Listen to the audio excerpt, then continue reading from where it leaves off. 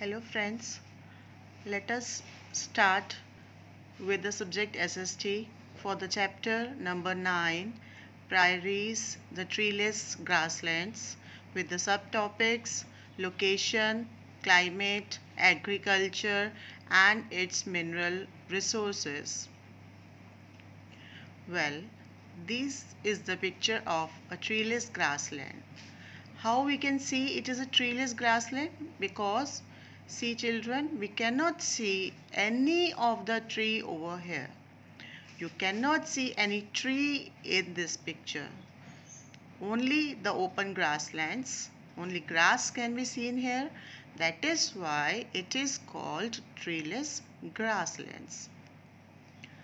See, every continent has such features means the treeless grasslands.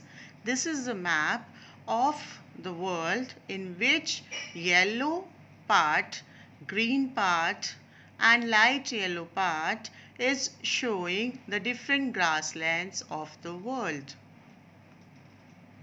See, all the different uh, continents have the grasslands which are known by different names. Let us see what are they called. In North America, they are called prairies. In South America, they are called pampas. Africa, they are known as velds.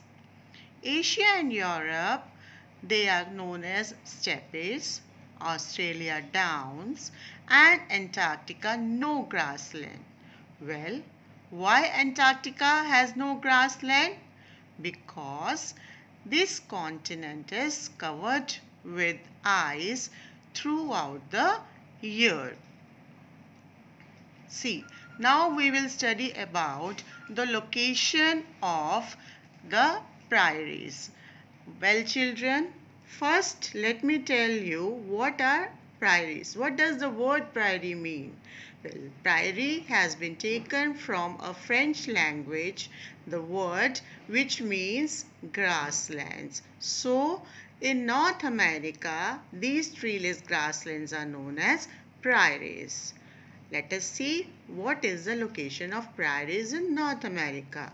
Well, they are located in the northern hemisphere between the equator and the North Pole.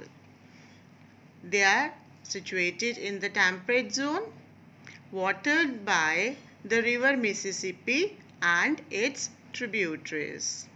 Well, this is now the biggest farming region of the world.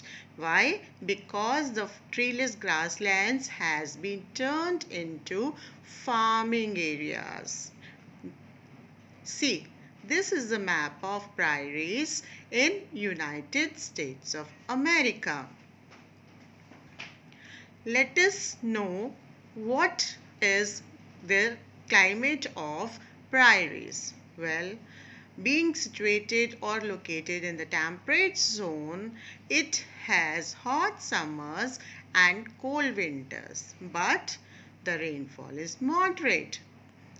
The climate is suitable for the growth of grass but not the trees. Why? Because they have very hot summers, very cold winters and water is not enough because rainfall is moderate.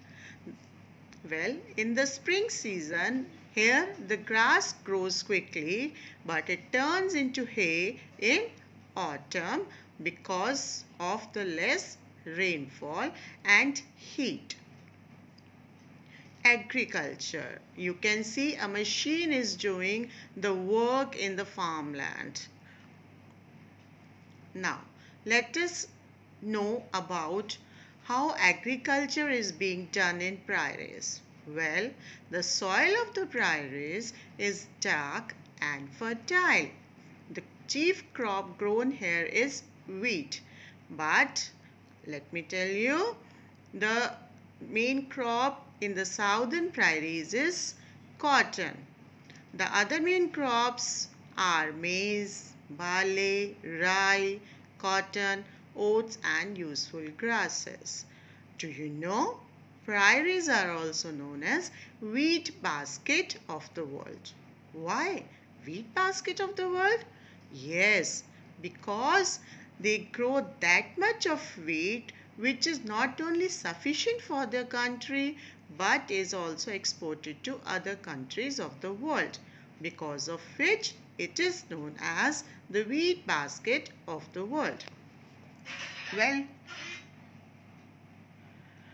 the other main crops I told you are bar maize, barley, rye, cotton, oats and useful grasses. Do you know all the farming work like job uh, plowing, sowing, harvesting, threshing and winnowing is done with the help of machine. Do you know which what is the name of this machine? Well, this one machine which does all the work done in the agriculture or included in the farming is known as combine harvester. So, wheat is exported to many countries of the world. I told you earlier. And for their own use, they store the food grains in big storage bins which are known as silos. I repeat, silos are the big storage bins in which food grains are stored. Homesteads. Now what are homesteads? Homesteads are the houses built for the farm, fam, farmer's family and workers in the farmlands. See, this is a picture of silos in which store uh, food grains are stored. Ranches. Now let us know about what are ranches. Well, ranches are the open areas which are used for rearing animals. Animals are also uh, reared there. Cattle and sheep. For what? Cattle and sheep are reared for milk and meat. Dairy products are processed through modern industrial methods and of course for the meat there are slaughterhouses which are located in the towns and cities. And the main slaughterhouse over here is Chicago for slaughtering the animals.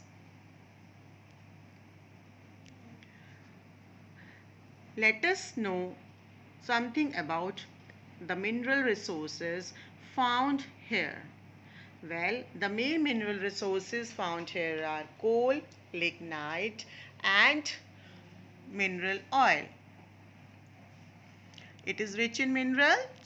Mainly found are lignite, coal and mineral oil.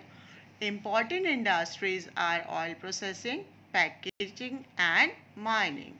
Other important industries are meat, packing and flour mills.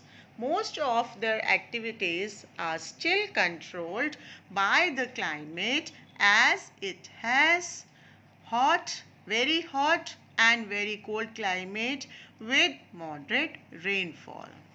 Well, I let us have a quick glance of the chapter. Well, we are studying about prairies or the open treeless grasslands. These grasslands are located in the temperate zone of each continent and here we are studying about the prairies, treeless grasslands which are located in North America. Well, prairies are watered by the river Mississippi and its tributaries. Prairies region is the biggest farming region in the world. The soil here is dark and fertile. The chief crops grown in northern and southern prairies are wheat and cotton respectively. The prairies of North America are also known as wheat basket of the world. Cattle and sheep are mainly reared on large open areas that are called ranches. Yes, there are many slaughterhouses in the prairies and Chicago is the important uh, slaughtering center for the animals. Main industries here are packaging and flour mills, mining, etc. I hope you must have understood the chapter well and I will advise you to see this video again and again so that you can learn the, its facts by heart. And at the last, I will suggest you work hard but the work should be smarter. Thank you.